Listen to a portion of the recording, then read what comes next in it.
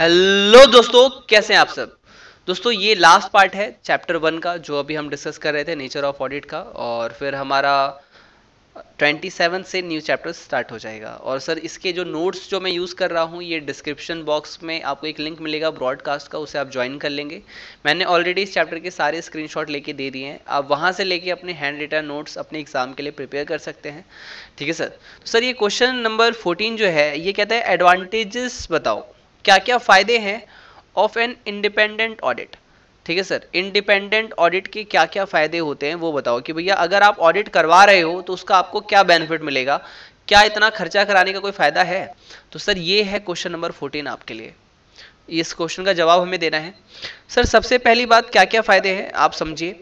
Sir सबसे पहला फ़ायदा आपको मिलता है interest of shareholder interest of shareholder मतलब भैया वो जो पैसे लगा रहे हैं, उनको ये भरोसा हो जाता है ऑडिटर के कहने पे कि जो मैंने पैसे लगाए हैं, उसका कोई गलत यूज़ नहीं हो रहा है, उसका सही जगह यूज़ हो रहा है।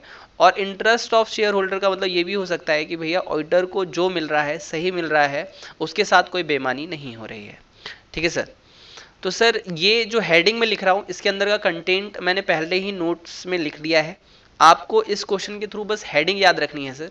ये हेडिंग याद रख जाएगी एग्ज़ाम तक तो बहुत बड़ी बात होगी सर आप हेडिंग पे फोकस करें, कैसे याद रहेगा? एक बार अभी वीडियो के थ्रू सुने एक बार टेस्ट में लिख के देखें. एक दो बार और वीडियो सुन ले सर आपके दिमाग में वो सेव रहेगा. बस समझते हुए चलना सर ठीक है? रटना नहीं बस. उसके सर मोरल चेक मिलता है. मॉरल मॉरल भी पढ़ते हैं, कुछ मॉरल भी पढ़ते हैं. मॉरल या मोराल मोराल भी पढ़ते हैं sir moral check on the employee of the auditee sir इसका मतलब आप दिमाग में ये रख सकते हो कि भैया जो एम्प्लॉय होते हैं उन्हें इस बात की बड़ी खुशी होती है कि भैया ऑडिट हो रहा है, क्योंकि अगर ऑडिटर साहब बोल देंगे कि ग्रॉस प्रॉफिट जितना ज़्यादा लेट सपोज़ ग्रॉस प्रॉफिट हुआ 25 परसेंट तो सर आप सबको पता है मैक्सिमम जो हमें बोनस मिलता है ट्वेंटी परसेंट मिलेगा तो एम्प्लॉय बड़ा खुश होता है कि वाह यार, कमाल हो गया ग्रॉस प्रॉफिट इतना है। लेकिन मालिक कह रहा है कि मेरा तो बस पाँच ही परसेंट था तो इन्हें सिर्फ़ आठ परसेंट मिलेगा। तो जितना ज़्यादा ग्रॉस प्रॉफिट बढ़ता है, हमारा एक्यूमलेटेड प्रॉफिट जो आपने बोनस में पढ़ा होगा है ना? उतना ज़्यादा ही इनको क्या मिलता है? परसेंटेज ऑफ़ बोनस मिलता है। तो इम्प्लॉय को बड़ा अच्छा लगता है कि वाह ऑडिट हो गया ना, मज़ा आ गया। तो इम्प्लॉय बड़े खुश होते हैं। तो वही मॉरल चेक होता है। ईमानदारी से जब चेक होता है ऑडिट के थ्रू तो इम्प्लॉय लोग को बहुत खुशी होती है कि वाह, कमाल हो गया। ठीक है सर और सर थर्ड पॉइंट आप इसमें लिख सकते हैं tax liability settlement tax liability settlement तो सर, जितना आपको हेडिंग में लिखना है, वो लिखेंगे। बाकी जो मैं कह रहा हूँ, अगर ये याद रख, आप लिख देते हैं तो भी आपके सर एग्ज़ाम में अच्छे नंबर मिलेंगे। सर टैक्स लाइबिलिटी सेटलमेंट क्या है कि गवर्नमेंट ये कहती है कि भैया, अगर ऑडिट हो गया, अगर ऑडिट हो गया तो वो जो करेक्ट प्रॉफिट बताएँगे, क्या बताएँगे? करेक्ट प्रॉफिट कौन बताएगा? ऑडिटर बताएगा।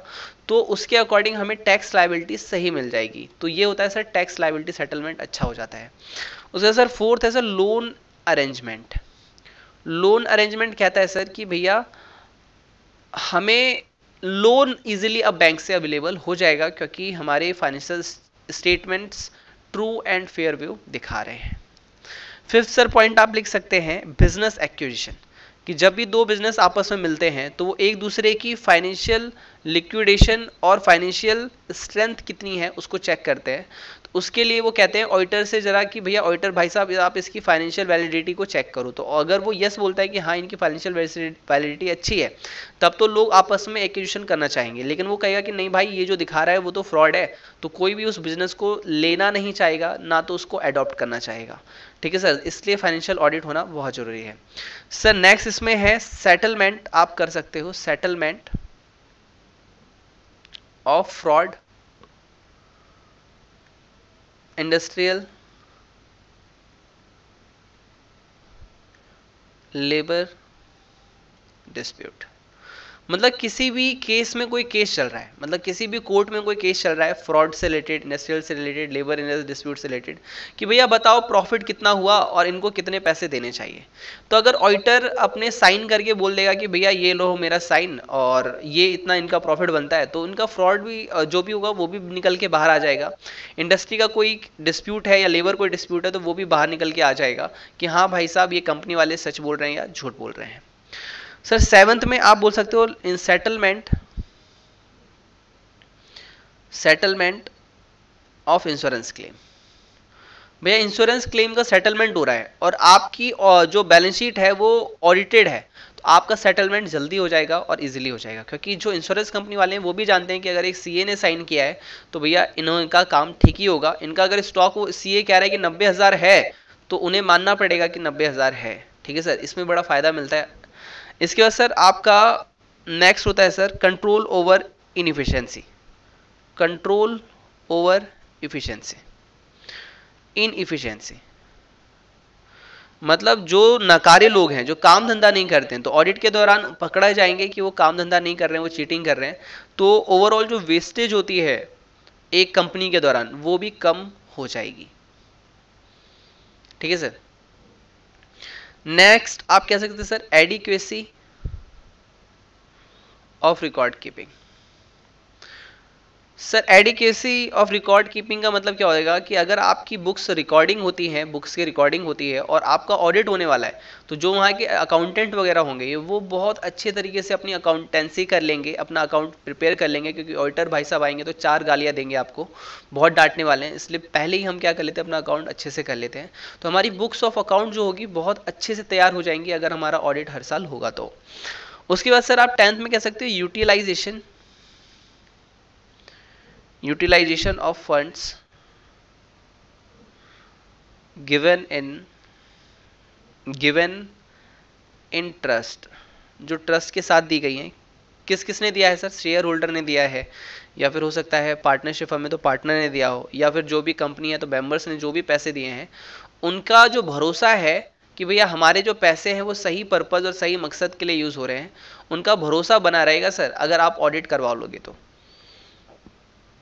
To account for, to account for मतलब आप ऑडिट के थ्रू क्या कर रहे हो? अपनी जवाबदेही दे रहे हो कि हाँ भैया हमारा पैसा सही जगह यूज़ हो रहा है। ठीक है तो इस टू अकाउंट फोर का मतलब सर मैंने आपको पहले ही बताया था, टू गिव एक्सप्लेशन फोर ठीक है, कि आपने उन्हें सही सही जवाब दे दिया है कि भैया इस पैसे का कहाँ यूज़ हुआ था, हमने इसमें कोई बेमानी नहीं की है, आपके पैसे का सदुपयोग ही किया है, कोई भी दुरुपयोग नहीं किया है, हमने आपके एक एक पाई का एकदम बहुत ईमानदारी से यूज़ किया। उसके बाद सर, एक चीज़ होती है आर्बिट्रेशन आर्बिट्रेशन सर आर्बिट्रेशन का मतलब होता है सर, पंचायत। पंचायत। ठीक है? और इंग्लिश में सर इसको बोलते हैं settlement body settlement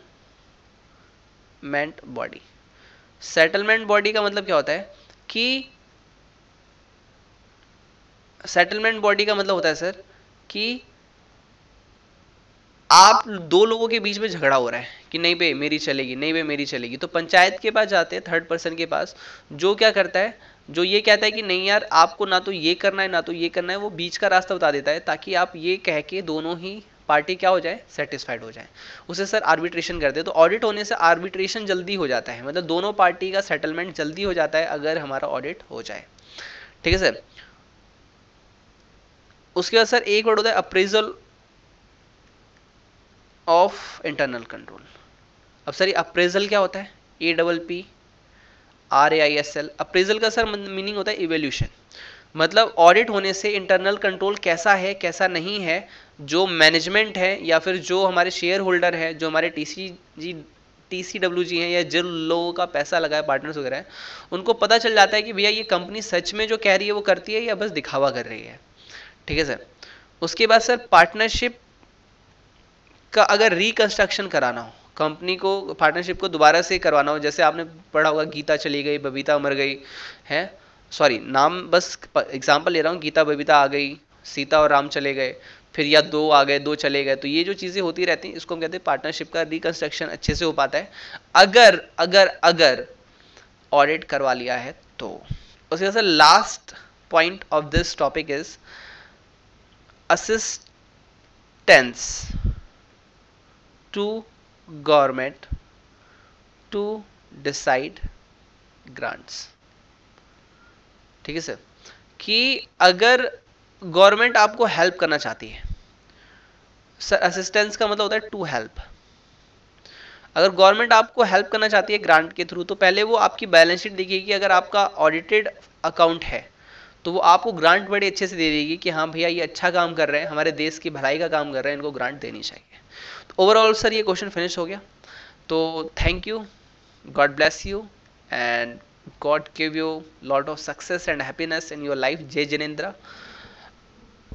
अल्लाह हाफिज़ खुदा हाफिज़ सतरीकाल और दोस्तों, बस यही कहूँगा, पसंद आए तो लाइक कीजिए कमेंट कीजिए एंड शेयर कीजिए अपने दोस्तों से जिनको आप किस तरह ही ज़रूरत हो।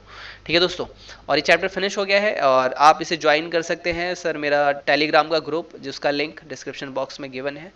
और सर, अच्छे से पढ़िए, अपनी तैयारी अच्छे से कीजिए, भगवान आपको सफलता दे, आपको बहुत आगे ले जाए। God bless you take care and bye